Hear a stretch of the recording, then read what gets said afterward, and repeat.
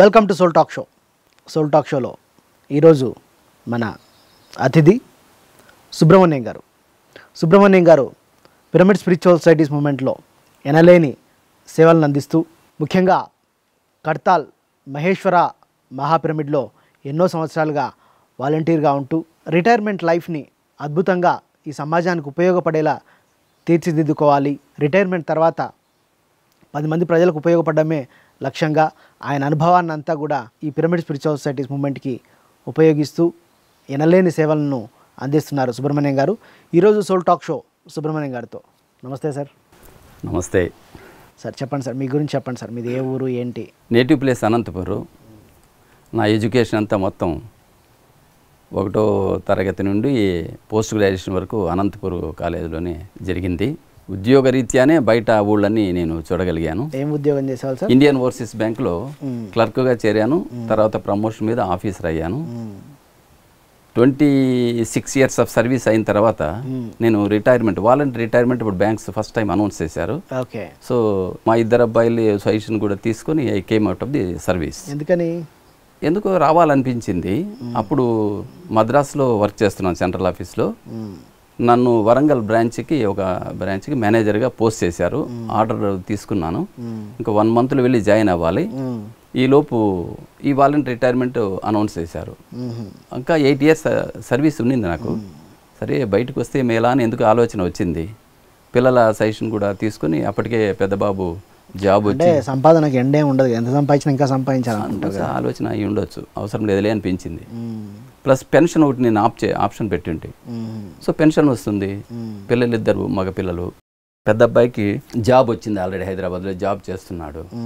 So వస్తే మీరు కదా అని సలహా తీసుకొని I came out of the service ఈ ధ్యాన మార్గంలోకి ఎలా వచ్చారు? మద్రాసులో వర్క్ చేస్తున్నప్పుడు సెంట్రల్ ఆఫీస్లో ఇదే బ్యాంకులో ఇండియన్ ఓవర్సీస్ బ్యాంకులో పనిచేస్తున్న మధుమోహన్ నాకు మంచి ఫ్రెండ్. మేము. కలిసి ఏదైనా యాక్టివిటీ పెట్టుకుందామని అనిపించి ఇండియన్ ఓవర్సీస్ బ్యాంకులో ఉన్న నలభై తెలుగు మాట్లాడే ఫ్యామిలీస్తో కొంతమందితో పరిచయం అప్పుడు ఏర్పడింది. అంత మునుపు కూడా సర్వీస్లో ఉండగా ఈ కోస్తా జిల్లాల్లోనూ ఏపీ తెలంగాణలో పనిచేసేటప్పుడు హైదరాబాద్లో పనిచేసేటప్పుడు వాళ్ళందరూ కొంచెం పరిచయం ఉన్నారు. మిగతా వాళ్ళని పరిచయం చేసుకొని మేమిద్దరు కలిసి ఐఓబి తెలుగు సాంస్కృతిక సమితి అనేది పెట్టాం. ఎప్పుడు మీరు మధుమోహన్ గారు మీరు ఎప్పుడు ఏ సంవత్సరం? Ninety six to two thousand. Ninety సిక్స్లో ఫైవ్ ఇయర్స్ ఉన్నాను ఇక్కడ చెన్నైలోనే. చెన్నైలో. నేను బ్రాంచ్లో పనిచేస్తున్నారు. నేను సెంట్రల్ ఆఫీస్ చెన్నై పనిచేస్తున్నాను. సో మనం ఏదో యాక్టివిటీ పెట్టుకుందాం ఇద్దరు అనుకొని నాకు అక్కడ ఉన్న తెలుగు వాళ్ళు లోకల్ వాళ్ళు కూడా పరిచయం అయ్యారు. మేము. నలుగురు కలిసి మేము అది పెట్టాం. మా ఉద్దేశం ఏమిటంటే తెలుగు వాళ్ళందరినీ ఒక చోట కలపాలని సో కన్వీనర్గా నేను ఉండి ఆ నలభై ఫ్యామిలీస్కి ఇన్ఫర్మేషన్ ఇవ్వడము ఫోన్స్ చేయడము మా మెయిన్ మోటో ఏముండేదంటే అందరికీ తెలుగు సినిమాలు మాకు కరువు అక్కడ. ఓకే. సో తెలుగు సినిమాలు చూడాలా అని అన్నారు. ఓకే అట్లే చేద్దాం. తిరుపతి నుంచి మేము రెంట్కి బాక్సెస్ తెప్పించుకుని అప్పట్లో బాక్సెస్ వచ్చేటివి. రీల్ రీల్ సో ఒక ప్రీవ్యూ థియేటర్ రెంట్కి తీసుకునేవాడిని. మంత్లీ ఒకసారి ఒక సండే. సినిమా చేస్తే వల్ల సినిమా తెలుగు సినిమా. ఓ ఖుషి అయిపోయారు అనమాట ఫస్ట్? ఫస్ట్ సినిమా గుర్తుందా? ఏం గుర్తులేదు బట్ పాత పాత సినిమాలన్నీ అంటే చిరంజీవి నాగార్జున వెంకటేష్. ఇంకా ముందు ఇంకా ఎన్టీఆర్ ఏఎన్ఆర్ ఓల్డ్ మూవీస్ అన్ని. ఇక మాకు ఏవైతే అప్పట్లో ఇవి లేవు కదా ఏది మనకు దీంట్లో చూడొచ్చు నెట్ఫ్లిక్స్లో లేవు, అప్పుడు లేవు లేదు. So ninety seven ninety eight వరకు అలాగా జరిగిందనమాట అక్కడ నాకు ఒక ప్రసన్న కుమార్ గారని మ్యూజిక్ డైరెక్టర్ ఉన్నారు సినిమా ఫీల్డ్లో. సో ఆయన ద్వారా మిగతా వాళ్ళందరూ కొంత పరిచయాలు ఉన్నాయి. ఈ రైటర్స్ అనుకొని మిగతా వాళ్ళు పరిచయం ఉంది. నెలకు ఒకరిని పిలిచి మనం సభలాగా పెట్టుకుంటే బాగుంటుంది కదా అని అనుకున్నాము. మ్యాండలియన్ సిస్టర్స్ మాకు చిన్న వాళ్ళు చిన్న పిల్లలుగా ఉన్నప్పటి నుంచి నిడదవలో పరిచయం మాకు బ్యాంకులో పనిచేసేటప్పుడు. ఆ పిల్లలు బాగా ప్రాక్టీస్ చేసి వాళ్ళు మ్యాండలియన్ సిస్టర్స్గా మంచి పేరు పొందారు. వాళ్ళని పిలిచి మేము ఫస్ట్ కార్యక్రమం మొదలుపెట్టాం. వాళ్ళతో ఇనాగరేషన్ లాగా పెట్టాం. సిరివెన్నెల సీతారామ శాస్త్రి గారు ఆనంద్ మ్యూజిక్ డైరెక్టరు ఇట్లా వాళ్ళందరూ సినిమా యాక్టర్లు వీళ్ళందరినీ మేము పిలుస్తుండేవాళ్ళం తెలుగు అసోసియేషన్ తెలుగు అసోసియేషన్ తరఫున. సో మా చిన్న సంస్థ వరల్డ్ తెలుగు ఫెడరేషన్లో సభ్యత్వం తీసుకున్నాం మేము. సో వాళ్ళు ఏం చేసేవాళ్ళంటే మాకు ఏసీ హాలు నెలకు ఒకసారి మాకు ఇచ్చేవాళ్ళు చెన్నైలో టీ నగర్లో మెయిన్ ప్లేస్. సో అక్కడ ఏసీ హాలు పోడియము అంతా ఉంది. సో అక్కడికి చాలామంది సినిమా యాక్టర్లు బాగా చెప్పుకోవాలనుకుంటే లాస్ట్ ఫేస్లో మేము పిలిచింది భానుమతి గారిని. ఆమె ఎప్పుడు ఏ దాంట్లకు రాదట.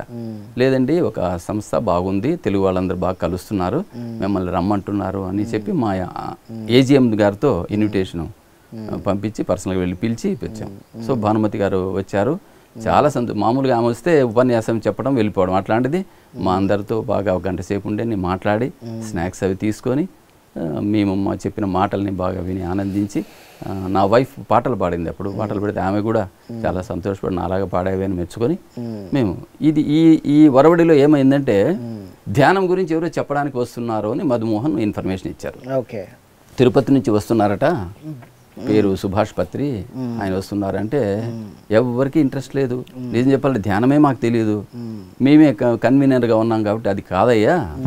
మనం విందాం ఒక గంట సేపు అంటే అంతే ఇష్టం ఉండాలి మళ్ళీ కంటిన్యూ చేయండి లేకుంటే లేదని కన్విన్స్ చేసి మొత్తానికి డబ్ల్యూటీఎఫ్లో చిన్న టీ నగర్లో క్లాస్ పెట్టేశాము. పత్రి సార్ వచ్చారు.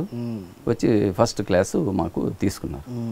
అయితే అందకంటే ఒక నెల ముందే ఇప్పుడు అచ్చంపేటలో ఉన్నటువంటి senior grand master Vijayalakshmi madam గారు మాకు క్లాస్ తీసుకున్నారు.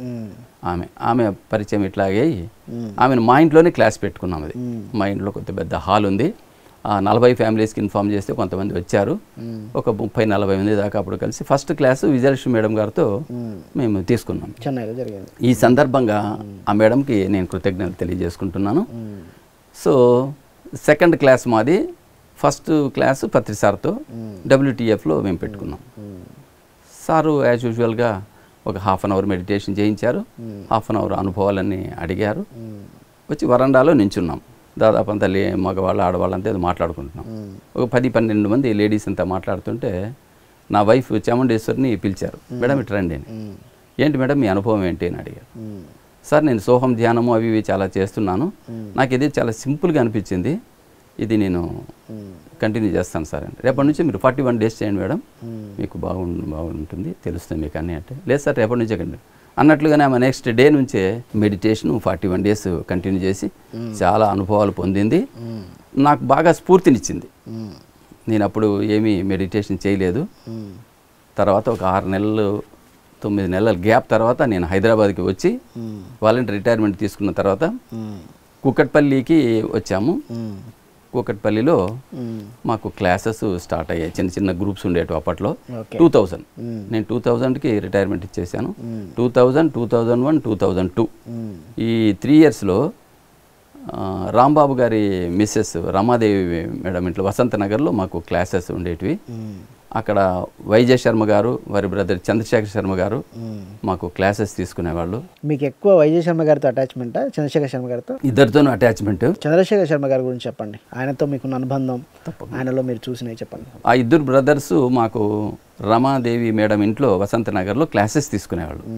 వాళ్ళు ఇంకెక్కడో క్లాస్ ఉందంటే గాను ఇంకొక ధ్యా ధ్యానులు ఎవరో ఉన్నారంటే వాళ్ళ ఇళ్ళకు కూడా మేము వెళ్తుండేవాళ్ళం. ఆ పరిచయం బాగా ఎంతవరకు వచ్చిందంటే ఆయన ఎక్కువగా క్లాసెస్ మా దగ్గర తీసుకోవటము మా ఇంట్లో ఉండమని మేము అడిగితే ఉండిపోవటము అట్లా ఉండేది. సో చంద్రశేఖర్ శర్మ గారి దగ్గర నుంచి నా వైఫ్ బాగా ధ్యానానికి సంబంధించి చాలా విషయాలు తెలుసుకుంటూ మాకు తెలియజెప్పేది మేము. ధ్యానముని ముఖ్యంగా ధ్యానం అంతంత మటుకే చేసేవాడిని. ఒక సిక్స్ మంత్స్ వన్ ఇయర్ అట్లా గ్యాప్ వచ్చిన తర్వాత నేను కూడా కొద్దిగా ధ్యానం మీద ధ్యాస పెట్టి చేయడం మొదలుపెట్టాను. తర్వాత తర్వాత రోజుల్లో చంద్రశేఖర్ శర్మ గారికి మా చిన్న అబ్బాయి శిరీష్ అటాచ్మెంట్ ఎక్కువైంది. ఆయన రెండు వేల పదిహేనులో బాడీ వెకేట్ చేశారు. అంత మునుపు ఒక నాలుగు సంవత్సరాలు. నాలుగు సంవత్సరాల పాటు చిన్న అబ్బాయి ఎక్కువగా తిరిగారు చంద్రశేఖర్ శర్మ చంద్రశేఖర్ శర్మ గారితో ఆయన లోపల మీకు ఏం బాగా నచ్చింది? ఆయన గట్టిగా విషయాలన్నీ చాలా సులభంగా చెప్పేవాళ్ళు. మమ్మల్ని కూర్చోబెట్టేసి చిన్న గ్రూపులో మా ఇంట్లోనే చాలా బాగా ధ్యానం చేయించేవాళ్ళు. దాంట్లో ఏమైందంటే ఆయన మా ఇంట్లో ఫ్యామిలీ మెంబర్ లాగా అయిపోయారు. మరి ఎక్కడ ఏమి నాకు అనిపించిందో ఆయన మా ఇంట్లో ఎక్కువగా ఉంటూ తిరగడం అనేటువంటి నచ్చలేదు. మీకు నచ్చలేదు? నచ్చలేదు. ఒకసారి ఏదో గట్టిగా నేను ఆయనతో చెప్పలేక నా వైఫ్తో అన్నాను. ఎప్పుడు ఇరవై నాలుగు గంటలు ఆయన ఇక్కడ ఉంటే ఎట్లాగా మనకేమి ఇబ్బంది అవుతుంది? అసలు అనేను. ఆమె కొంచెం బాధపడి ఆయనతో చెప్పింది. ఆయన మాట్లాడుకోకుండా మళ్ళీ మా ఇంట్లో నుంచి ఆయన వెళ్ళిపోయారు. ఇది నాకు దాదాపు ఒక మూడు నాలుగు సంవత్సరాల గ్యాప్ తర్వాత ఆయన అంటే నాకు విపరీతమైనటువంటి అభిమానం పుట్టుకొచ్చేసి ఆయన ఎట్లా కలవాలి కలవాలనుకుంటే రెండు వేల పన్నెండు ఇక్కడ ధ్యాన మహాయజ్ఞం జరిగేటప్పుడు కైలాసపురిలో ఆ గ్యాప్ వచ్చేసింది. ఆయన నన్ను చూడాలనుకున్నారు. నాకు ఇంకా ఎక్కువ తపన వచ్చేసి సో ఆయన ఎంటర్ అయ్యి ఇక్కడ వస్తున్నారంటే కొంచెం డిస్టెన్స్లో కనపడ్డారు ఆయన. అంతే ఆయన చేతులు ఇట్లా అన్నారు. నేను చేతులు ఇట్లా అన్నాను. గట్టిగా పట్టుకున్నారు. ఏం బాబా? బాగున్నావా? బాగున్నా బాగున్నాం సార్. మీ అన్న ఎట్లున్నారు? అది ఇది. ఇంకా అప్పటి నుంచి కొంచెం నా నేను అటాచ్మెంట్ ప్లస్ బాబు శిరీష్ కూడా అటాచ్మెంట్ ఎక్కువ. సో వారి దగ్గర నుంచి మేము చాలా నేర్చుకున్నాం. చాలా నేర్చుకున్నాం. మాకు ఒక బేస్ పడ్డది అంటే ఆయన మూలంగానే అనమాట అయితే మీరు మీ మేడం ఇద్దరు ఒకటేసారి వచ్చారా మెడిటేషన్లోకి ముందుగా వచ్చింది. ఆమె అంటే క్లాస్ విన్నదంతా ఒకసారి విన్నాము. నైన్టీన్ నైన్టీ నైన్లో మద్రాసులో. టూ థౌజండ్లో హైదరాబాద్కి వచ్చిన తర్వాత ఒక వన్ ఇయర్ గ్యాప్ వచ్చింది నాకు. వన్ ఇయర్ తర్వాత అప్పుడు నేను ధ్యానం నేనెందుకు చేయకూడదు? నేను కూడా చేస్తే బాగుంటుంది కదా. ఆమె ఏదో ధ్యానం అని చేస్తుంది పుస్తకాలు చదువుకుంటుంది అని వన్ ఇయర్ గ్యాప్ తర్వాత మళ్ళీ దీంట్లోకి వచ్చాను. ఒక అద్భుతమైన జీవితాన్ని గడిపాము. రెండు వేల పదహారులో చాముండేశ్వరి బాడీ వెకేట్ చేసేంత వరకు రెండు వేల నుంచి రెండు వేల పదహారు. అసలు మా జీ మొత్తం జీవితంలో నలభై తొమ్మిది సంవత్సరాలు ఆర్డినరీ లైఫ్ ఫిజికల్ లైఫ్. ఈ ఆధ్యాత్మికత ఏంటో తెలియదు అప్పుడు. నేను గుళ్ళకి పోవటం పూజలు చేయటం అనేది లేదు. మరి ఈ ధ్యానము మాకు అంది వచ్చింది. ఏం మార్పు తీసుకొచ్చింది మీ జీవితం చాలా చాలా మార్పు. మెడిటేషన్ స్టార్ట్ చేయాలనుకున్నప్పుడు నా పిరమిడ్ నేనే తయారు చేసుకున్నాను. ఒక టెన్ ఇంచెస్ పిరమిడ్ అప్పట్లో పది రూపాయలు ఇస్తే ఒకటి క్యాప్ ఇచ్చేవాళ్ళు. సరే నాకు కొంత ఎంఎస్సి మ్యాథమెటిక్స్ కాబట్టి నాకు కొంత తెలుసు తెలుసు కాబట్టి నేను చిన్న పుస్తకం చదివి పిరమిడ్ ఎట్లా తయారు చేస్తాను నా పిరమిడ్ నేనే తయారు చేసి రబ్బర్ బ్యాండ్ కట్టుకొని నేను చేయటం మొదలుపెట్టాను పది పదకొండు రోజులు గడిచే లోపే నాకు కాస్మిక్ ఎనర్జీ అంటే ఏంటో తెలిసింది. ఫ్లో పైనుంచి ఫ్లో బాగా వచ్చేసేది. అది అయిన తర్వాత ఒక పది ఇరవై రోజుల్లోనే నేను మేము. బేసిక్గా నాన్ వెజిటేరియన్స్. నాన్ వెజ్ తీసుకునేవాళ్ళం. ఎందుకంటే పెద్దవాళ్ళంతా తింటున్నారు మాకు అలవాటైంది మేము. వది వదలాలనేటువంటి ఎప్పుడు కూడా ఆ టాపిక్ రాలేదు ఆలోచించలేదు. ఈ మెడిటేషన్ వచ్చిన తర్వాత అసలు ఆ స్మెల్ అంటే పడ్డం లేదు. అరే ఏమైంది? మనం ఏం నిర్ణయం ఏం తీసుకోలేదు కదా అనుకున్నాం. కానీ ఆ పది ఇరవై రోజుల ధ్యానంలోనే నాకు కాస్మిక్ ఎనర్జీ ఫ్లో ఉంటే ఏమో తెలిసింది. ఆ నాన్ వెజిటేరియన్ స్మెల్ పడడం లేదు వదిలేసాం నాన్ వెజ్ ప్యూర్ వెజిటేరియన్స్ అయిపోయాం. ఓకే. నా వైఫ్ ఆల్రెడీ రెండు మూడు సంవత్సరాల నుంచి ఆమె వెజిటేరియన్గా ఉంది. మీ వైఫ్తో మీకు బాగా అటాచ్మెంటా? బాగా. బాగా అటాచ్మెంట్ అంటే మేము చదువుకునే రోజుల నుంచి మా మామయ్య కూతురే లవ్ మ్యారేజ్? రెండు కుటుంబాలకి కొంచెం గ్యాప్ ఉన్నింది. ఎక్కువగా రాకపోకలు అంటే లేవు. నేను ఎంఎస్సి చదివేటప్పుడు ఆమె బీఎస్సీ పుట్టపర్తి సాయిబాబా అనంతపురం కాలేజీలో మహిళా కళాశాల పెట్టినప్పుడు అందులో ఆమె గ్రాడ్యుయేషన్ చేరింది. సో మేమిద్దరూ కలిసి మా అప్పట్లో ఈ సెల్ ఫోన్లో అన్నీ ఏం లేవుగా? లెటర్ రాసుకున్నారు లెటర్ లెటర్స్ మాట్లాడుకొని మ్యారేజ్ చేసుకోవాలని డిసైడ్ చేసుకున్నాం. లవ్ లెటర్ రాశారా love letters love letter first మీరు రాశారా మేడం రాశారా? నేను రాశాను. మీరు ఆ, రాశారు నేను రాశారు సార్? గుర్తుంటే చెప్పండి కొంచెం సరదాగా. గుర్తు చేసుకోవాలి అయితే. చెప్పండి. మాకు తెలియదు లవ్ లెటర్లు ఎట్లుంటాయి అందుకే మీరు చెప్తే తప్పకుండా తప్పకుండా. Nineteen seventy two seventy three seventy four. ఆ టూ ఇయర్స్ త్రీ ఇయర్స్ పీరియడ్లో మామయ్య కూతురే కదా? ఆమె పేరు చాముండేశ్వరి. నేను ఎందుకో అందరూ ఆమె చాముండే అని పిలుస్తారు వాళ్ళ ముఖ్యమైన దగ్గర బంధువులు స్నేహితులు. నేను ఈశ్వరి అని పిలిచేవాడిని. తెలియకుండా అది ఏంటి అని తర్వాత తెలిసింది నాకు. పదిహేను సంవత్సరాలు తెలిసింది. సో సెకండ్ పార్ట్లో ఆ ఈశ్వరి అని తీసుకుని ఎప్పుడు ఈశ్వరి అని పిలిచేవాడిని నేను ఈశ్వరి అని మొదలు పెట్టేవాడిని అప్పుడు ఏముండేటివి? ఏదో ఈ పెద్ద పెద్ద విషయాలు మాట్లాడేది ఏముండదుగా? కుటుంబ విషయాలు. ప్రియమైన ఈశ్వరికి అని ఈశ్వరి అంతే. ఈశ్వరి అని మొదలు పెట్టేసి. కుటుంబ విషయాలే ఉండేది మ్యారేజ్ చేసుకోవాలనుకుంటున్నాము మరి ఎట్లా ఆ కుటుంబంలో ఈ కుటుంబంలో వద్దనుకుంటున్నారు? ఇలా ఇలాంటివి అనమాట మరి చిన్న చిన్న విషయాలు. ఆమె నన్ను బావా అని రాసేది. ఉత్తరం నేను భావన అవుతాను కదా మా అమ్మ కొడుకుని. సో రిప్లై బావా అనే ఉండేది. ఓకే. సో ఆమె కూడా వివరంగా వాళ్ళ ఇంటి పరిస్థితులు అవి ఇవి ఎడ్యుకేషన్ గురించి. అంతేగాని ఏదో అవి చేద్దాం ఇవి చేద్దాం మనమంతా కలిసి అట్లాంటివి ఏం లేదు. కుటుంబ విషయాలు మ్యారేజ్ ఎట్లా చేసుకోవాలి? ఇది ఇరు కుటుంబాలని ఎలా ఒప్పించాలి అని. అప్పట్లో ఈ డౌరీ సిస్టమ్ కూడా ఉన్నింది కదా. నాకేదో అప్పట్లో లక్ష రెండు లక్షలు డౌరీ ఇస్తారు. ఇలాంటి ఐదు లక్షలు పది లక్షలు ఇస్తారంటే అది పెద్ద గొప్పగా ఆ, తల్లిదండ్రులు కూడా గొప్పగా ఫీల్ అయ్యారు. మా అబ్బాయికి ఎంత డౌరీ తీసుకున్నామని. నేనేమో డౌరీ తీసుకోకూడదు అనుకున్నాను ఇంట్లో వాళ్ళకి చెప్పాను మీరు అట్లా తీసుకోకూడదు అది ఎట్లా కుదురుతుంది? డౌరీ తీసుకుంటే కుదరదు మ్యారేజ్ ఏమో అవ్వదు సంవత్సరం నుంచి పెండింగ్ ఉంది. ఈ లాభం లేదు వీడు ఇట్లా అని చెప్పేసి ఓ రెండు మూడు పెళ్ళి సంబంధాలు చూశారు. సరే వీళ్ళు ఇట్లా చేస్తున్నారు కదా అని పోయి అమ్మాయిని చూసేది నాకు నచ్చలేదండి ఒకటో రెండో చూశారు. ఇక వీటితో లాభం లేదు మన ఊరికి చూపించటం నచ్చలేదు అనటం ఎందుకు అని చెప్పేసి మళ్ళీ మా నాన్నకు బావగారే అవుతారు కదా. ఉమ్. పిల్లలు ఇద్దరు ఇష్టపడుతున్నారు సరే ఏదో వాళ్ళకి మ్యారేజ్ చేస్తే పోతుందని ఒక నిర్ణయానికి వచ్చేసి మరి ఏం మాట్లాడుకున్నారేంటో అది మాట్లాడేసుకుని మొత్తానికి మ్యారేజ్ ఉరవకొండ అనంతపురం మధ్యలో పెన్నహుబెళం అని ఉంది. ఆ పెన్నహుబెళంలో మాకు మ్యారేజ్ జరిగింది నైన్టీన్ సెవెంటీ ఫైవ్. మళ్ళీ పుట్టపర్తిలో ఉన్నారా కొన్ని వాళ్ళు పుట్టపర్తికి ఎప్పుడు వచ్చామంటే ఇది మేము టూ థౌజండ్లో మెడిటేషన్ అందుకుందామని చెప్పాం కదా. మా రెండో అబ్బాయి గార్మెంట్ ఫ్యాక్టరీ బెంగళూరుకి వెళ్తే వాడికి హెల్ప్ చేయడానికి అన్నట్టు నేను ఆమె వెళ్ళాం. బెంగళూరులో ఉన్నాం. రెండు వేల ఏడులో అనంతపూర్లో కూడా అంత ధ్యానాలు జరుగుతుండే అప్పుడు మాకు ప్రతాప్ రెడ్డి గారు లక్ష్మీ మేడము మా అన్నయ్య వదిన కూడా దీంట్లోకి వచ్చారు. నాగభూషణము లక్ష్మీదేవమ్మ వాళ్ళకి ఇంట్లో సెంటర్ ఉంది. శ్రీ వీరబ్రహ్మేంద్ర పిరమిడ్ ధ్యాన కేంద్రం అని అనంతపూర్లో. సో ఈమె ద్వారా వచ్చింది వీళ్ళ అన్న వదిన వాళ్ళు అనమాట సో మేమంతా కలిసి ఒకసారి మార్చిలో అన్న- అన్నయ్య వాళ్ళ ఇంట్లో మెడిటేషన్ గ్రూప్ అంతా కలిసి మేము మెడిటేషన్ చేసినప్పుడు లక్ష్మీ మేడం ప్రపోజ్ చేశారు. అనంతపూర్లో ఉన్న లక్ష్మీ మేడం. ఎవరైనా పుట్టపర్తికి ధ్యాన ప్రచారానికి వెళ్ళాలి ఎవరు వెళ్తారు అని. వెంటనే నా వైఫ్ ఇంట్రెస్ట్ చూపించింది. నేను వెళ్తాను. మరి అయితే ఒక రోజు కూడా గ్యాప్ లేకుండా ఫార్టీ వన్ డేస్ ఉండాలి. ఓకేనా అంటే సరే మేమిద్దరు మాట్లాడుకున్నాం. ఆమె ఓకే అనింది. పుట్టపర్తిలో వెళ్ళి ధ్యాన ప్రచారం చేయాలి. ఫస్ట్ ఫేస్లో ఫార్టీ వన్ డేస్ కంటిన్యూస్గా ఉండాలి. అక్కడ రత్నాకర్ రాజు ట్రస్టీ ఆయనతో కొద్దిగా పరిచయం ఉంది. సో లక్ష్మీ మేడం వెళ్ళి ఇట్లా మేము చేయాలనుకుంటున్నామంటే ఆయన యాక్సెప్ట్ చేసి మీరు తప్పకుండా రావచ్చు ధ్యానం ఏముంది? ఇక్కడ టెంపుల్లో మీరు పెట్ పెట్టుకోవచ్చు అని అన్నారు. సో ఈ సందర్భంగా వారికి కూడా నేను కృతజ్ఞతలు తెలియజేస్తున్నాను. సాయిబాబా వాళ్ళ అన్న కొడుకు తమ్ముడు కొడుకు అనుకుంటారా? తమ్ముడి కొడుకు. తమ్ముడు కొడుకు. తమ్ముడి కొడుకు. రత్నాకర్. అవును రత్నాకర్ రాజు గారు. మేము. రెండు వేల ఏడు మార్చిలో అట్లా డిసైడ్ చేసుకొని నెక్స్ట్ డేను నెక్స్ట్ డేను మేము వెళ్ళాం. వెళ్ళాలి అని అనుకున్నాం. సో మేము ధ్యానులు అందరూ ధర్మవరం వాళ్ళతో కూడా కలిసి మాకు ధర్మవరం బ్యాచ్ వాళ్ళు మంచి సపోర్ట్ అక్కడ. సో అప్పట్లో ఒక పది మంది ఇరవై మంది అక్కడ అనంతపూర్లో ఉంటే ధర్మవరం నుంచి ఒక నలభై యాభై మంది దాకా వచ్చారు. ఎప్పుడు చూసినా డెబ్బై ఎనభై మంది ప్రతి నెల పౌర్ణమి ధ్యానానికి ఉండేవాళ్ళం. మాకు అక్కడ ఆంజనేయ స్వామి గుడి ఉంది. ఆ గుడిలో మాకు భజన మందిరం తాళాలు ఇచ్చారు. సో ఉదయం సాయంకాలం వెళ్ళి నా వైఫ్ అక్కడ ధ్యానం చెప్పేది. కొద్ది కొద్దిగా ఎవరో ఇష్టం ఉన్న వాళ్ళంతా వస్తుండేవాళ్ళు ఉదయం పూట అక్కడ భజనలు జరిగేటివి. సాయంకాలం మా ధ్యానం ఉండేది. ఒక డాక్టర్ గారింట్లో భగవద్గీత ప్రవచనం జరిగేది. ఆయన కొద్దిగా పరిచయమై ఆయన తర్వాత ఆయన ప్రవచనము కంటే ముందు మీ ధ్యానం చెప్పండి అనేవాళ్ళు. సో ఫార్టీ ఫైవ్ మినిట్స్ మన ఆనాపానసతి ధ్యానం చేసిన తర్వాత. ఆయన ప్రవచనం ఉండేది. అట్లా కూడా అక్కడ సేవ సేవకు వచ్చిన వాళ్ళందరికీ తెలిసింది ఈ దీని గురించి. ఎవరిని బలవంత పెట్టేవాళ్ళం కాదము. అక్కడ మందిరంలోకి వెళ్ళి ప్రచారం చేసేవాళ్ళం కాదము. బయట మాత్రమే ఈ జరిగేది ఇది. చాలా మంది అందుకున్నారు చాలా బాగుంది. మాకు అద్భుతమైనటువంటి అక్కడ. తెలుసా ఈమె అంటే నాకేం అనుభవాలు వచ్చేట్టు కానీ ఈమె ఖచ్చితంగా చెప్పేది. మనకు మెసేజెస్ వస్తున్నాయి సార్ దగ్గర నుంచి.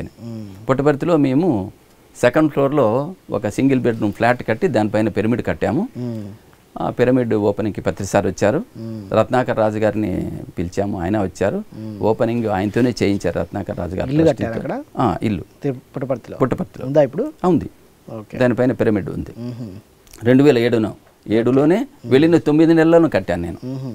సొంతంగా ఏమీ డబ్బులు లేకున్నా అవకాశాలు లేకపోయినా కూడా ఎలా మొదలైందో తెలియదు అక్కడ ఉన్న ధ్యానులు పది సంవత్సరాలుగా ఇరవై సంవత్సరాలుగా భక్తులు సాయిబాబా భక్తులు అనేవాళ్ళు. మేము. పది ఇరవై సంవత్సరాలుగా ఇక్కడ ఇల్లు కట్టాలనుకుంటాం కొంటా ఉంటాం మాకు అవకాశం రావట్లేదే. మీరేంటి వచ్చే సంవత్సరం కాకనే చిన్న ఫ్లాట్ ఒకటి కట్టి దాని మీద పిరమిడ్ కూడా కట్టారు అని. ఏమోది మనకు తెలియదు. ఇక్కడికి వచ్చాము సర్వీస్ చేయాలని. ఈ ధ్యానం అంటే చాలా ఇంట్రెస్ట్ వచ్చింది. సో ఆ ధ్యాన ప్రచారం చేయాలనుకున్నాం. సో వెళ్ళాము. ఆ వెళ్ళటం వెళ్ళటం మేము సిక్స్ ఇయర్స్ ఉన్నాం. రెండు వేల ఏడు నుంచి రెండు వేల పదమూడు జూన్ వరకు పుట్టపర్తి. పుట్టపర్తి. పుట్టపర్తికి వచ్చే భక్తులకు మెడిటేషన్ నేర్పించాలి మెడిటేషన్ చెప్పాడు. ఆయన తర్వాత లెవెన్త్ నవంబర్ సార్ బర్త్డే సందర్భంగా ఒక వారం రోజులు. ట్వంటీ థర్డ్ నవంబరు సాయిబాబా గారి బర్త్డే సందర్భంగా ఒక వారం రోజులు. మేము అక్కడ ఒక స్టాల్ లాగా పెట్టేసి ఒక షాప్ని స్టాల్ లాగా తీసుకొని దాంట్లో మేము కరపత్రాలు అవి పెంచి పంచటము చెప్పటము చేసాం పుట్టపర్తిలో ఉన్నప్పుడు బాబా దగ్గర ద- దర్శనానికి వెళ్ళే వాళ్ళ ఆ, ప్రతి ఆల్మోస్ట్ ప్రతిరోజు అట్లా వెళ్ళేవాళ్ళం. దర్శనానికి. దర్శనానికి వెళ్ళేవాళ్ళం. ఎప్పుడైనా ఒక రోజు మిస్ అయినా కూడా మేము మేము వెళ్ళేసి అందరితో పాటు ఉండటం. అక్కడ జెంట్స్ వేలో నుంచి నేను పోవడం ఆమె లేడీస్ వేలో నుంచి ఆమె రావడం అనుభూతి మీకు పుట్టపర్తిలో చాలా చాలా చాలా గొప్ప గొప్ప అనుభవాలు. నాకు వచ్చిన అనుభవం ఏంటంటే మేమిద్దరూ మా ఫ్లాట్లో ఉండి లేకుంటే పైన పిరమిడ్లో కూర్చొని మాట్లాడుకుంటుండగానే నా వైఫ్ చెప్పేది మంచి సువాసనలు వస్తున్నాయి చూడండి మల్లెపూల వాసన వస్తుంది గమనించండి అని. నేను అలా అని మని ఏమి ఏం నాకు వాసన రావట్లేదు లేదు వస్తుంది మీరు కళ్ళు మూసుకోండి వెంటనే అని. ఇద్దరు ధ్యానానికి కూర్చునేవాళ్ళం మ్మ్. ధ్యానం బాగా కుదిరేది. విత్ ఇన్ ఫైవ్ మినిట్స్ మేము బాగా డీప్కి వెళ్ళిపోయేవాళ్ళం. మ్మ్. చాలా విషయాలు ఇట్లా చెప్తూ వచ్చిందనమాట ఏం చెప్పాలంటే పత్రిసార్ కంటే ముందుగా ఒక గురువుగా భావించిండేది నేను ఆమెనే. ఎందుకంటే ఆమె ద్వారానే నాకు అందడము ఆ లోతుల్లోకి పోవటం అనేది జరిగింది. అది ఒకసారి సారు మైక్ ఇచ్చేసి చెప్పయ్యా నువ్వు రెండు మాటలు చెప్పు అంటే మమ్మల్ని ఇద్దరిని స్టేజ్ మీద పిలిచినప్పుడు నాకు తెలుసుకున్నది పత్రి గారి ద్వారా ఆయన కూడా నా గురువు నా భార్య. ఎవరైతే మన అజ్ఞానాన్ని పటాపంచలు చేసి మనకు అంత ఇంత జ్ఞానాన్ని అందిస్తారో వాళ్ళే మన గురువు. Let it be a friend or wife ఇంకొకసారి ఏదైనా మంచి గంధం వాసన వస్తుంది అనేది నాకు కూడా తెలిసేది. ఏంటి ఎక్కడి నుంచి వస్తుంది? నేను ఆశ్చర్యపోయాను వెంటనే కళ్ళు మూసుకోండి మాస్టర్స్ వస్తున్నారు ధ్యానం చేద్దాం విత్ ఇన్ ఫైవ్ మినిట్స్ బాగా డీప్లోకి వెళ్ళిపోయాడు అరగంట గంట ధ్యానం చేసుకున్నాడు so masters are with us అనేటువంటిది నాకు నాకు రూఢిగా నాకు తెలిసిపోయింది.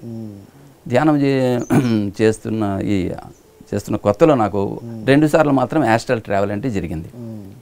నేను బాగా డీప్కి వెళ్ళి నేను డైరెక్ట్ చేసి దాన్ని లోతుల్లోకి నేను వెళ్ళలేదు.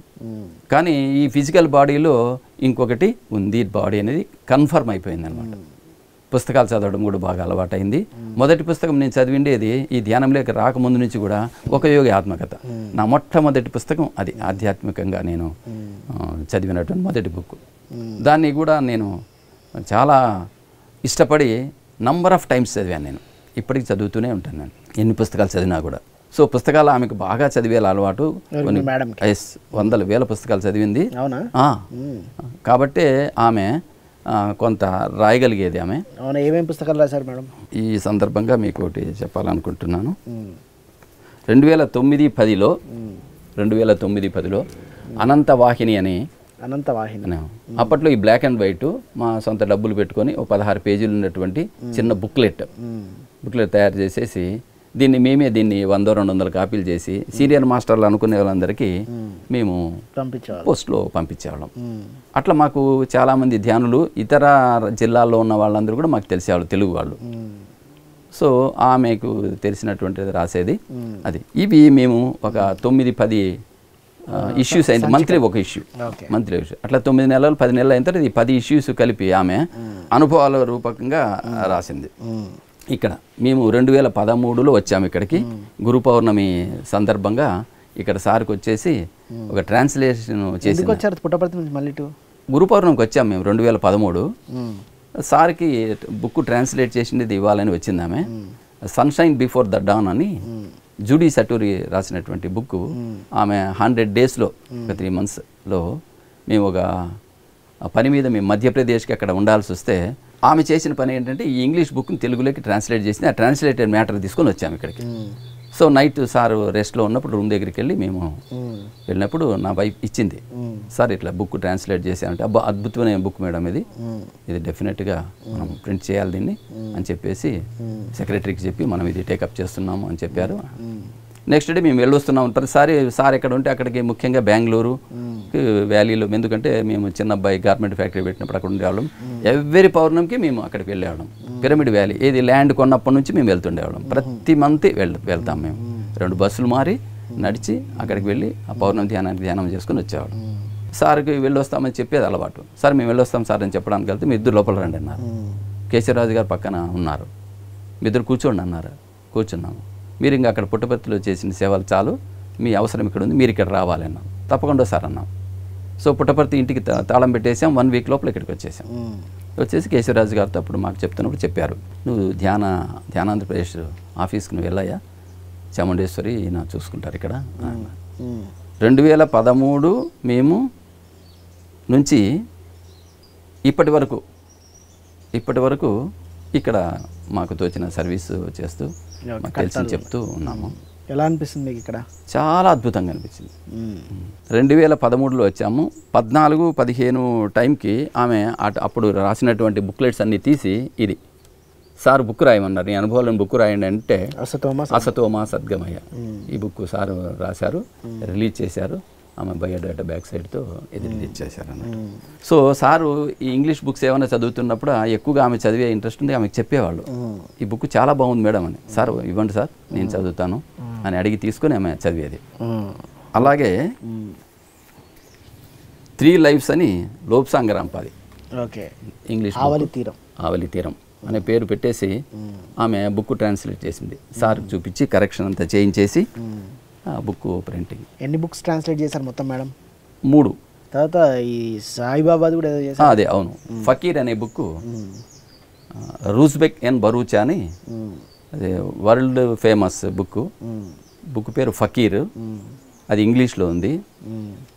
ట్రాన్స్లేట్ చేసింది ఆమె సార్కు చెప్పి ఇది ట్రాన్స్లేట్ చేస్తానని చెప్పి చేయమని చెప్పారు. చేసిన తర్వాత ట్రాన్స్లేటెడ్ మ్యాటర్ సార్కు చూపించి దానికి పర్మిషన్ అది తీసుకొని తెలుగు పేరు కూడా ఫకీర్ అని పెట్టమన్నారు. ఫకీర్ అనే పేరుతో ఆ బుక్ చేసింది. సో రెండు వేల పదమూడు నుంచి రెండు వేల పదహారు వరకు సెప్టెంబర్ వరకు ఆమె నేను కలిసి సేవలు చేస్తున్నాం. రెండు వేల పదహారులో ఆమె సెప్టెంబర్లో బాడీ వికెట్ చేశారు. ముందు తెలిసిందా మీకు? అట్లా ఆ, ఏం లేదు. ఆమెకి లంగ్ క్యాన్సర్ అన్నారు. ఆమె ధైర్యంగా దానికి తీసుకుంది. మామూలుగా కదా క్యాన్సర్ హాస్పిటల్కి వెళ్తే ఇది అన్నారు. మీకు కొంచెం ఏంటి మేడం లేట్గా వచ్చారు ఏంటి అని డాక్టర్ గారు అన్నారు. సో ఆ చీఫ్తో మాట్లాడుతున్నప్పుడు మీరు ఏం చేస్తారు ఏంటి అని క్యాజువల్గా మాట్లాడుతున్నప్పుడు ఈ ధ్యానం గురించి వచ్చింది. ఈమె ధ్యానం గురించి చెప్పింది. సార్ ఇట్లాంటివన్నీ ఓవర్కమ్ అవ్వచ్చు దీనికి అంత పెద్ద ట్రీట్మెంట్లు ఏమి అవసరం లేదు. పిల్లలు ఈయన చూపిద్దామని అన్నారు కాబట్టి వచ్చాను. ధ్యానం చేసుకుంటే తగ్గుతుంది అని ఖచ్చితంగా ఆమె గట్టిగా చెప్ చెప్పింది. ఆయన అప్పుడు చెప్పారు తన ఎక్స్పీరియన్స్ లేదు మేడం నేను ఈ హాస్పిటల్కి వచ్చే ముందు ఇంకో క్యాన్సర్ హాస్పిటల్లో పనిచేశాను. ఉన్న పేషెంట్స్ని ఫిఫ్టీ పర్సెంట్ ఫిఫ్టీ పర్సెంట్ నేను డివైడ్ చేసి నేను రీసెర్చ్ చేయాలనుకొని ఫిఫ్టీ మెంబర్స్కి విత్ మెడిటేషన్ ఫిఫ్టీ మెంబర్స్కి వితౌట్ మెడిటేషన్ చూసేసి దానికి నేను మీరు చెప్తున్నది కరెక్ట్ మేడం మెడిటేషన్ చేస్తున్నందు వాళ్ళు తొందరగా కోలుకున్నారు. తొందరగా క్యూర్ అయింది అని ఆయన కూడా యాక్సెప్ట్ చేశారు. సరే అయితే మీరు కంటిన్యూ చేయదలుచుకుంటే ట్రీట్మెంట్ మరి చెప్పండి నాకు అంటే సరే అని బయటకు వచ్చేసి హాస్పిటల్ బయటికి వస్తూనే ఆమె అన్నది ఇక్కడ ట్రీట్మెంట్ వద్దు మనకు. ఏం ఈ ట్రీట్మెంట్ తీసుకునే పని ఏం లేదు. అని. సడన్గా మా అబ్బాయికి రిషికేష్ నుంచి తెలిసిన వాళ్ళు ఎవరో ఫోన్ చేశారు. ఇంకా హాస్పిటల్ ఆవరణలోనే ఉన్నాం. అక్కడ ఈ క్యాన్సర్కి ఏదో ఆయుర్వేదిక్ మెడిసిన్స్ ఇస్తారని తెలిస్తే బై పోస్ట్ అది తెప్పించుకొని మనం ఇక్కడే నెల నెల వాడుతూ మనం ఇంట్లో ధ్యానం చేసుకోవచ్చు అంటే దాన్ని ఎందుకు మరి అంత సీరియస్గా తీసుకోలేదో లేకుంటే మీద బాధపడలేదో తెలియదు మరి ఇప్పటికీ అర్థం కాదు. ఎందుకంటే గత రెండు సంవత్సరాలుగా అంటే రెండు వేల పద్నాలుగు పదిహేను పదహారులో మూడు సంవత్సరాలు అనుకోండి. లైఫ్ ఆఫ్టర్ డెత్ గురించి బుక్ ట్రాన్స్లేట్ చేసింది కూడా అలాగే. What is death is there in the life after death ఈ సబ్జెక్ట్ మీదే నడిచేదంతా. వచ్చిన వాళ్ళు కూడా ధ్యానులందరికీ కూడా ఈ ఈ విషయం ఎక్కువగా చెప్తుండేది ఎందుకంటే ఆమె అన్నదానం చూసిన తర్వాత బుక్ స్టాల్ చూడాల్సి వచ్చింది. ఇక్కడ బుక్ స్టాల్ అనేది లేదు కైలాసపూర్లో. అసలు కరపత్రం ఇచ్చేవాళ్ళు లేరు. ఇది మేము వచ్చిన రెండు వేల పదమూడులో అప్పటి సంగతి. సో ఆమెకు పుస్తకాలు చదివేది ఈ రాయటం అనేది ఇంట్రెస్ట్ ఉంది కాబట్టి బుక్ స్టాల్ చూసుకోమన్నారు. అసలు బుక్ స్టాల్ క్రియేట్ చేసిందని చెప్పాలి. ఆల్రెడీ బుక్ స్టాల్ ఉన్నదేం కాదు. మేము పుట్టపర్తిని తీసుకొచ్చిన కరపత్రాలు ఆ పుస్తకాలతో అన్నీ కలిపి అన్నదానం బయటనే మేము రెండు బెంచీలు వేసేసి అక్కడ ప్యాంప్లెట్స్ అన్ని పెట్టి భోజనం చేసిన వాళ్ళందరికీ కరపత్రం ఇవ్వడము. ఎవరైనా ఇంట్రెస్ట్ ఏంటి మేడం అని అడిగితే ఆమె చెప్పేది. అది స్లోగా ఒక టెంపరీ షెడ్ లాగా వేసుకుంటూ వచ్చేసి ఇప్పుడు మెయిన్ కైలాసపురి మెయిన్ పిరమిడ్కి ఎదురుగా బుక్ స్టాల్ కార్నర్లో సారు అక్కడ వేసేసి మీరు బుక్ స్టాల్ పెట్టుకోండి సెమీ పర్మనెంట్ అది కూడా మీరు పెట్టండి అంటే ఆమె one and half year book stall చూసుకుంటూ బాగా డెవలప్ చేసింది. చిన్న చిన్న పిరమిడ్స్ని తెప్పించటము అన్ని రకరకాల ఇంగ్లీష్ బుక్స్ తెలుగు బుక్స్ చెప్పి తెప్పించటము అందరికి ఇవ్వడము చేస్తూ వచ్చింది. సో బుక్ స్టాల్ డెవలప్ అయిందంటే ఒక విధంగా చాముండేశ్వరి మూలంగానే. కడతాల్లో మీ లైఫ్ స్టైల్ ఎలా ఉంది? అంటే సిటీకి ఇక్కడికి ఎలా అనిపించింది? అంటే ఇన్ని నాళ్ళు సిటీలో ఉన్నారు సిటీలలో ఉన్నారు. ఇప్పుడు ఒక అడవిలో ప్రశాంతంగా ఉన్నారు. అవును. ఎలా అనిపిస్తుంది చాలా అద్భుతంగా ఉంటుంది మ్మ్. బాగా ఆస్వాదిస్తున్నాము. సిటీలో పెద్ద అబ్బాయి ఉంటాడు కాబట్టి మనవడు మనవరాలను చూడటానికి. నెలకు ఒకసారి అట్లా వెళ్ళి వన్ డే టూ డేస్ ఉండి వస్తుంటాను. నేను సిటీకి ఎక్కువ రోజులు ఉండాలని అనిపించదు. ఇక్కడ వాతావరణం బాగా నచ్చి ఇక్కడ ధ్యానం చేసుకునేకే చాలా అనుకూలమైన పరిస్థితులు బాగా ఎనర్జైజ్డ్ ప్లేస్ అని తెలుస్తుంటుంది కాబట్టి ఇక్కడే ఉండాలనిపిస్తుంది. మాకు ఏమి ఇక్కడ ఇంత ఎక్స్క్లూజివ్గా ఇక్కడ అంటే ఏదో ఇట్లాంటి ప్లేస్లో ఉన్నామని ఎప్పుడూ అనుకోలేదు. ఎప్పటికీ అనిపించదు కూడా అసలు. అంటే లోన్లీనెస్ ఉండదు. అసలు లోన్లీనెస్ అంటే ప్రకృతిలో ఉంటారు. ప్రకృతిలో ఉంటాం. చాలా చాలా బాగుంటుంది. మీరు ఎప్పుడైనా సిటీకి వెళ్తే డిఫరెన్స్ ఫీల్ అవుతారా? డిఫ్ డిఫరెన్స్ డెఫినెట్ ఫీల్ అవుతాం. ఫీల్ అవుతాం. కొంచెం కొంచెం ఆ- ఎనర్జీసే డిఫరెంట్గా ఉంటాయి. ఎగ్జాస్ట్ అయిపోయినట్లు అయిపోతాం అక్కడ.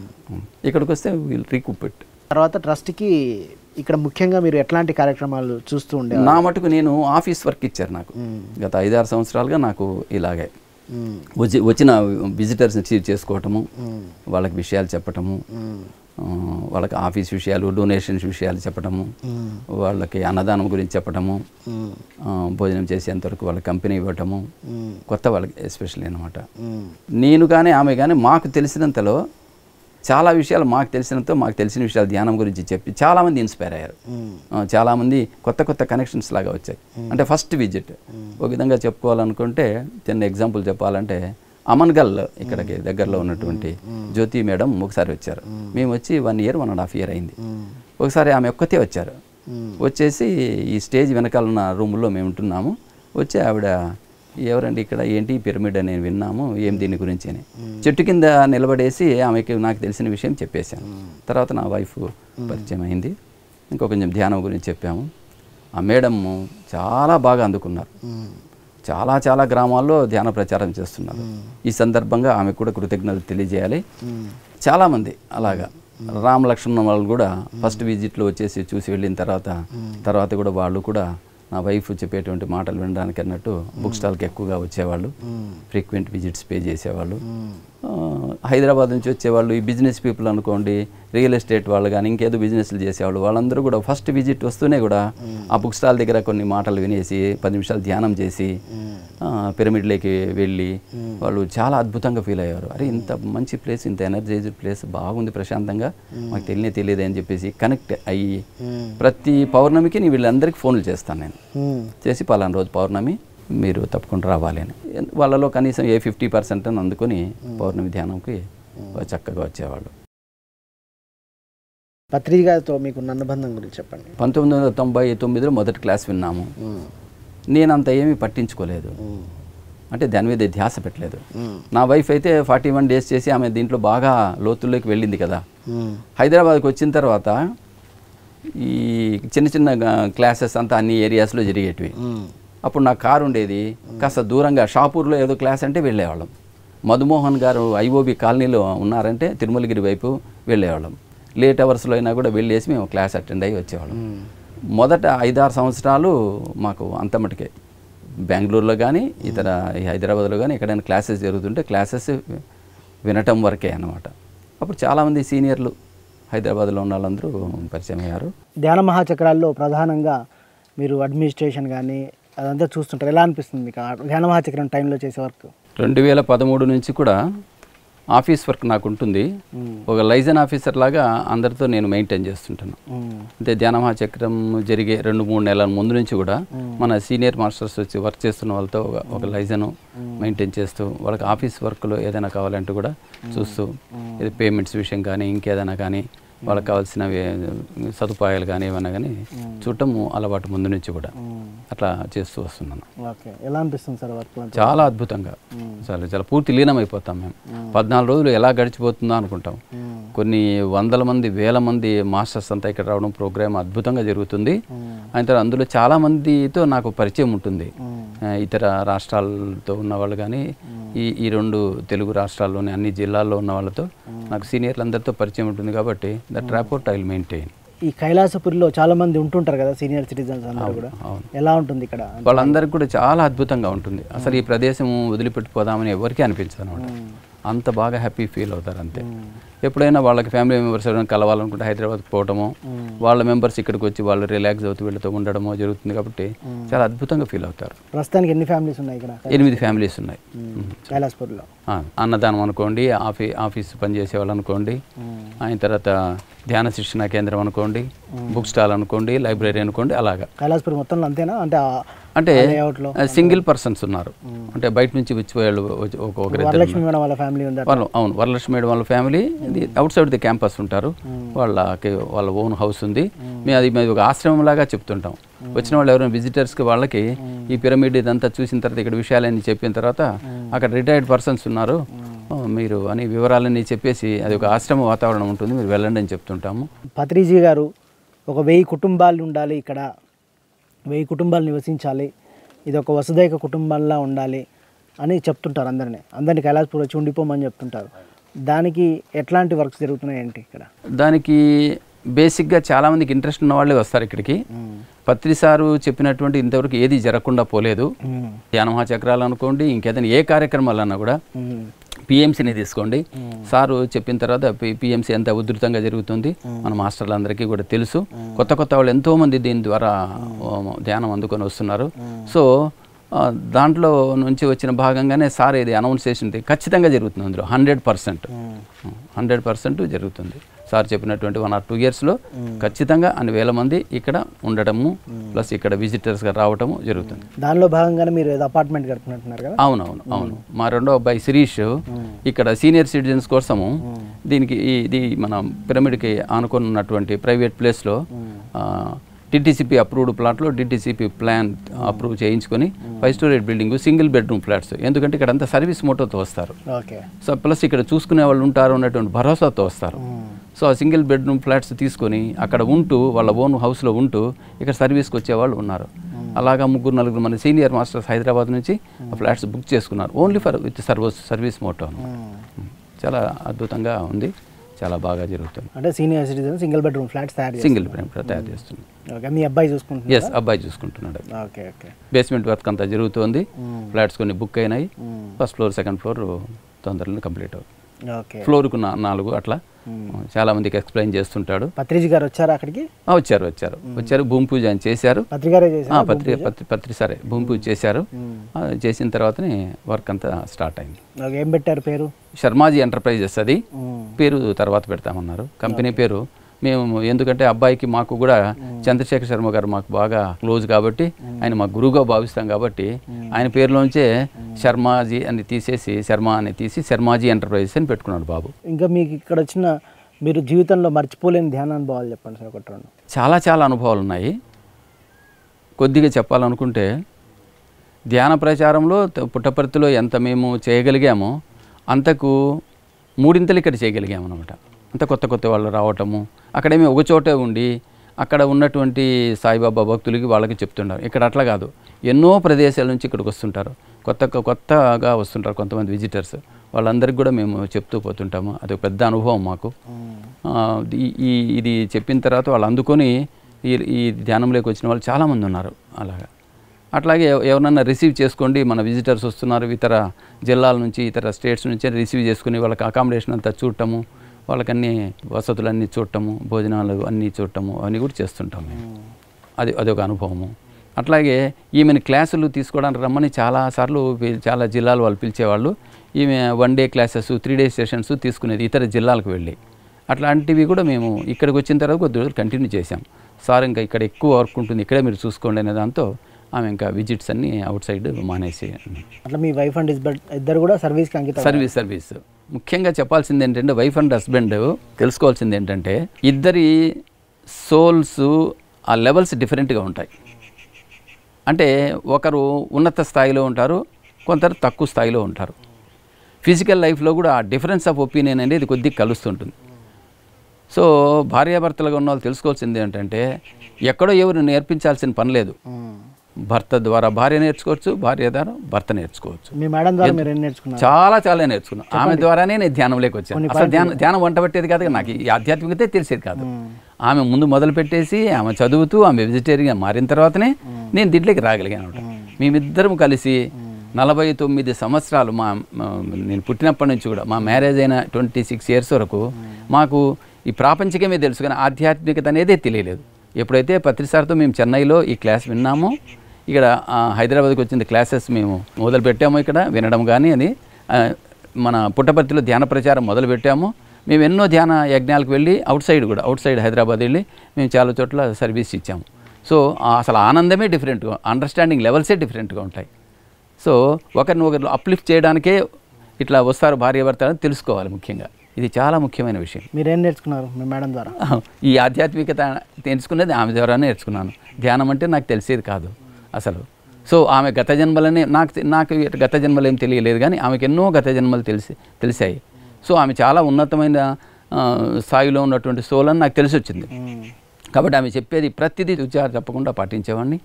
ఆ విధంగా మాకు చాలా అద్భుతంగా నడిచింది అనమాట దాదాపు పదహారు సంవత్సరాల పాటు ఈ ఆధ్యాత్మికత అందిన తర్వాత నేను ఎంతో ముందుకు వెళ్ళగలిగాను. నా మనసుకు నాకే అంతరాత్మే నాకు చెప్తుంది. ఇంకా భవిష్యత్తులో ఈ కైలాసపూర్ ఎలా ఉండబోతుంది? మీరు ఓ అద్భుతంగా చాలా అద్భుతంగా ఉండబోతుంది.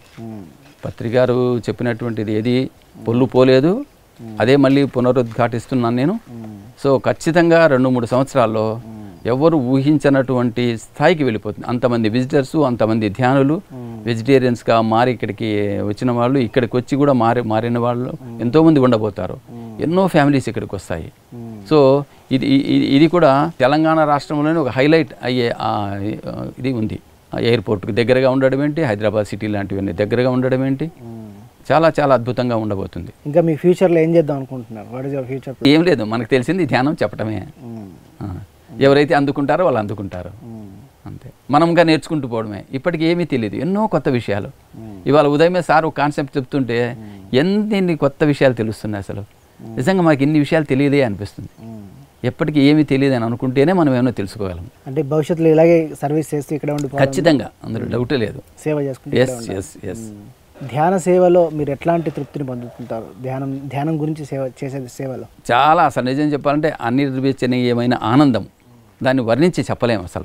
నిజం చెప్పాలంటే మనం ఎక్కడైనా డబ్బు ఉన్నప్పుడు ఏ- అనాచరణాలను డబ్బులు ఇవ్వడము మెయి అట్లా మెయింటైన్ చేస్తూ వృద్ధులను చూసుకోవడము ఆ- వచ్చేటువంటి ఆనందం వేరు. నీ దగ్గర ఉన్నదంతా అన్నదానం చేయటము ఆనందం వేరు. ఇంకేమైనా మీరు సేవా కార్యక్రమాలు చేపట్టడం వేరు. అదంతా ఒక ఎత్తు. నువ్వు ఈ ధ్యాన ప్రచారంలో నువ్వు ఎంత చే చేయిస్తే అంత నీకు ఆత్మతృప్తి అంత నీకు ఆత్మోన్నతి కలుగుతుంది అనమాట అందులో డౌటే లేదనమాట అంత అద్భుతంగా ఉంటుంది. Thank you very much sir ఇప్పటిదాకా సోల్ టాక్ షోలో సుబ్రహ్మణ్యం గారితో ఎన్నో విశేషాలు తెలుసుకున్నాం. నిజం చెప్పాలంటే ఆయన ఏం మాట్లాడరు. ఎక్కువగా పని చేస్తూ పని చేస్తూ పని చేస్తూనే ఉంటారు. ఆయన సేవకి జీవితం అంకితం ఇచ్చారు. ఆయన వాళ్ళ మేడం ఇద్దరు కలిపి పిరమిడ్ స్పిరిచువల్ సొసైటీస్ మూమెంట్కి ఎనలేని సేవలు అందిస్తున్నారు. ఇప్పటికీ కూడా ఈ ట్రస్ట్ శాలరీ తీసుకోమని ఆయన శాలరీ తీసుకోకుండా లేదు నేను సేవ చేయడానికి వచ్చా సేవ చేస్తా అని చెప్పి అద్భుతమైన సేవలు కైలాసపురికి కర్తాల్ మహేశ్వర మహాపిరమిడ్కి ఎంతో అద్భుతంగా సేవలను అందిస్తున్నారు. సుబ్రహ్మణ్యం గారు. కాబట్టి పిరమిడ్ స్పిరిచువల్ సొసైటీస్ మూమెంట్లో ఒక ఆదర్శవంతమైన వ్యక్తి సుబ్రహ్మణ్యం గారు. Thank you very much sir thank you very much మీ జీవితం చాలా మందికి ఆదర్శమై ఎంతో మంది రిటైర్డ్ వాళ్ళు ఈ ప్రోగ్రామ్ చూసి ఇక్కడికి వచ్చి సేవలు అందించాలని కోరుకుంటున్నాను sir.